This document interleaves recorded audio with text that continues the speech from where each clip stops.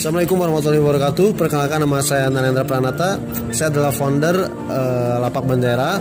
Apa itu Lapak Bendera? Lapak Bendera adalah tempat produsen jenis-jenis bendera, ada umbul-umbul, bandir, brekon, dan uh, masih banyak lagi. Nah, di kesempatan kali ini saya ingin membuka kesempatan bagi Anda semua. Karena apa? Karena kita akan open distribusi di 450 kota. Ya, jadi di setiap kota hanya ada satu distributor.